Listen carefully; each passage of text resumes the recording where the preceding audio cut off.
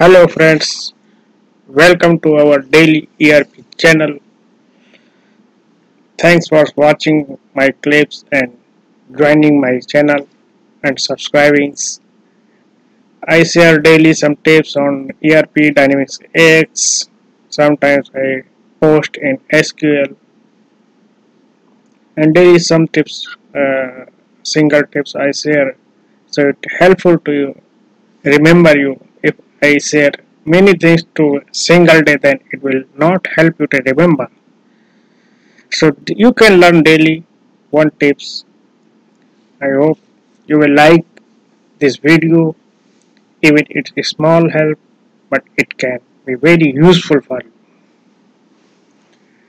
Today i am going to show you the topic is how to add dynamic query range without writing any single line of code for your SSRS report which is running from AX ERP. Basically AX is the Microsoft product and this is very being very famous today in the market. We mostly share the technical tips but uh, some share some functional tips also. So whatever today is sharing it's in between the technical and functional so it's called a techno-functional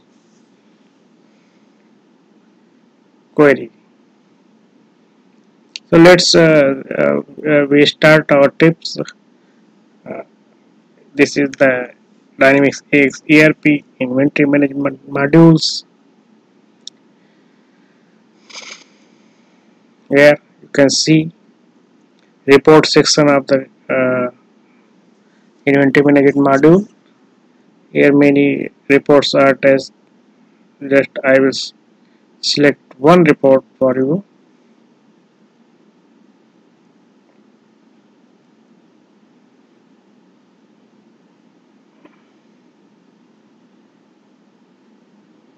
Like transaction item. Here these three things is already added to the query dialog box.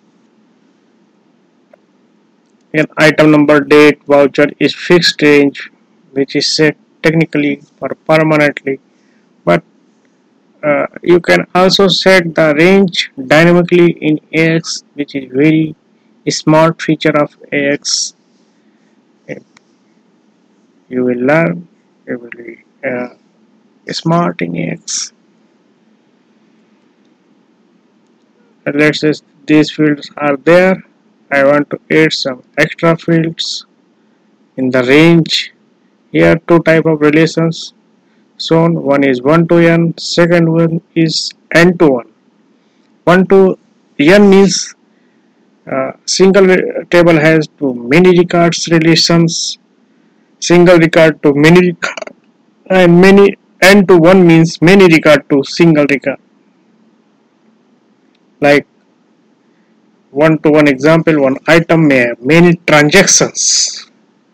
Same you reverse it many transactions have to relation to a single items. So here we can see invented transactions it is showing. There is no uh, any in three tables among three tables you cannot add uh, you cannot find warehouse field to set for your range. If you filter warehouse and you will not get in any of your range. Other field you can set in your way whatever you want. You can add any number of ranges. And if we, you want to uh, add range out of these three tables then you can also do like this. If you want to warehouse and site as range then you can do this way.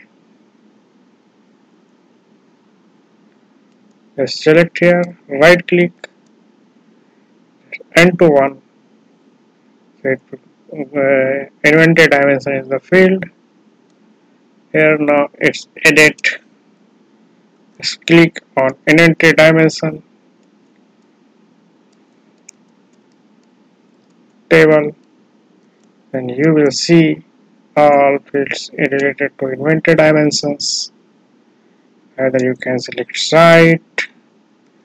Either you can select warehouse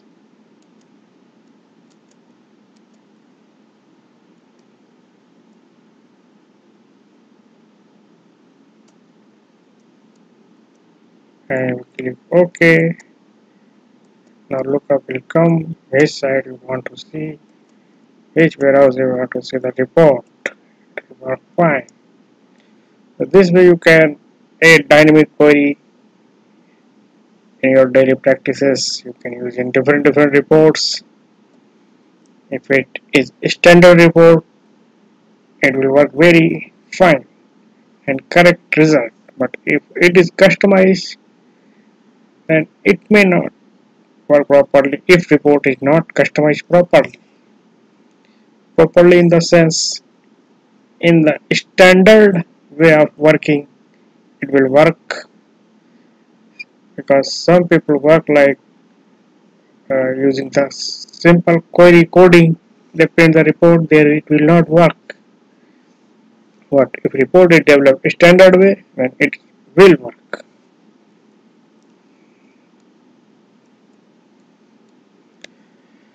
I also got some queries from users, from viewers who are viewing my clips like how to see the mod modules hotfix installed in AX, how can we check which hotfix is installed in AX.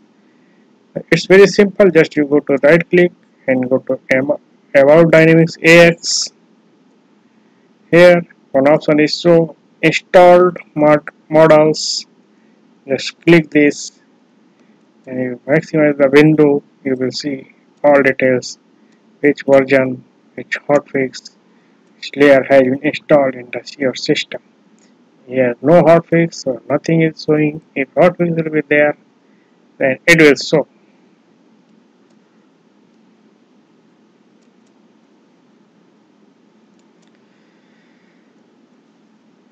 Thanks for watching this clip if you like please subscribe it.